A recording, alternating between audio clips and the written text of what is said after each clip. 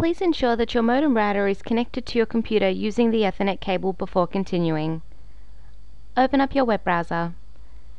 In the address bar, type in 192.168.1.1 and then press enter. If prompted for a username and password, type in admin for both and then hit enter.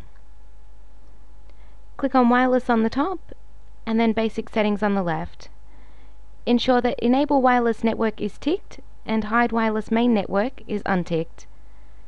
The wireless main network name SSID will be wireless as default.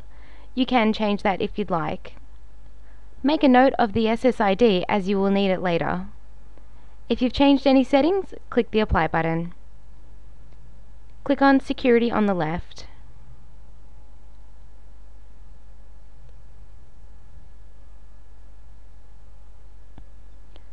For the NB6W and the NB6 Plus 4W, the wireless security is defaulted to 64-bit WEP. The authentication type is Open System, the format is hexadecimal digits, and the security key in Key 1 will be A1, B2, C3, D4, E5. You do have the option to change the security key, and it can be 10 digits between 0 and 9 and A and F. If you've changed any of these settings, click the Apply button.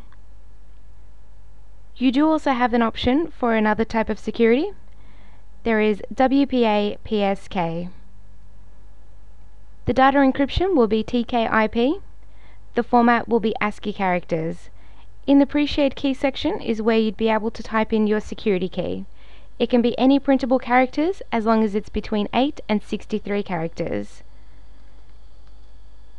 Make a note of what you've typed in as it comes up as dots. If you've changed any settings, click the Apply button.